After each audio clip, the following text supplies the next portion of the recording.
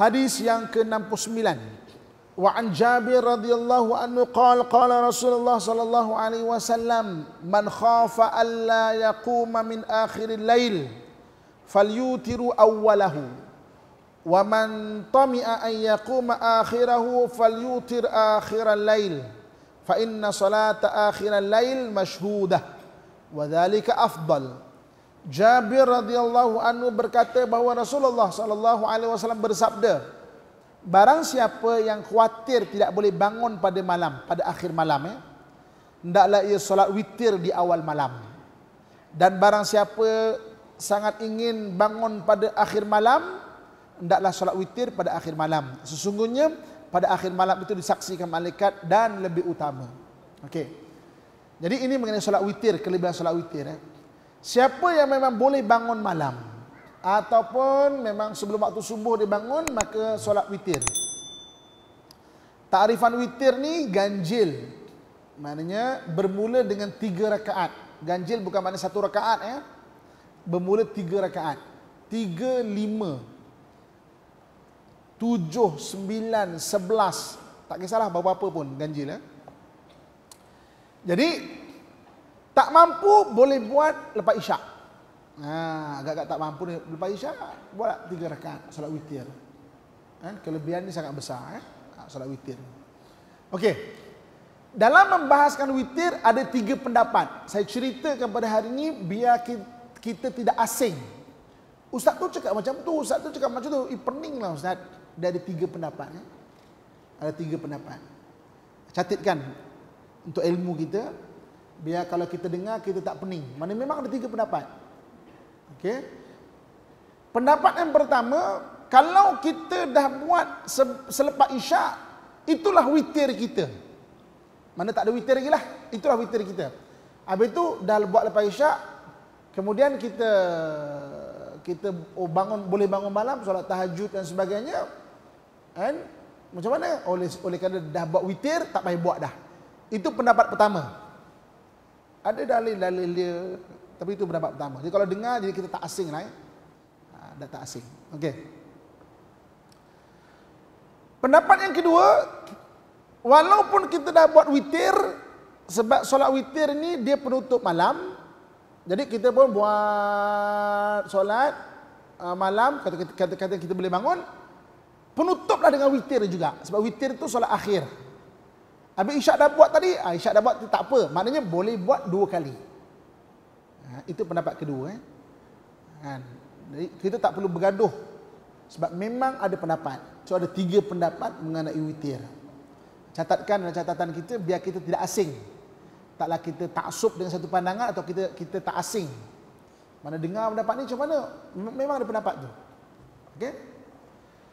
Pendapat yang ketiga pula, yang ketiga pula diambil maksud witir. Diambil maksud witir. Witir tu maknanya ganjil. Ganjil. Jadi lepas isyak kita pun buat witir tiga rakaat. Allahu akbar. Dua rakaat. Salam. Assalamualaikum warahmatullahi warahmatullahi buat satu rakaat. Assalamualaikum warahmatullahi warahmatullahi kita pun tidur. Tidur. Okey? Tiba-tiba malam tu terbangun. Bangun dan segar eh. Boleh sembahyang malam ni. Sembahyang malam ni. Okey sebelum kita buat solat tahajud kita buat satu rakaat witir dulu. Kenapa buat satu rakaat witir? Sebab nak genapkan yang tiga tadi. Tiga tambah satu empat. Sebab takrifan witir adalah ganjil. Kan? Tambah satu untuk genapkan tadi. Kita dah buat kan? Isyak tadi kan? Tiga. Jadi bangun-bangun sebelum solat tahajud buat satu rakaat dulu. Sebab apa nak genapkan tadi itu. Kemudian kita pun sembahyang tahajud lah, sembahyang sembahyang tasbih lah, sembahyang apa pun sembahyang, sembahyang, malam, tutup balik dengan witir tiga rakaat.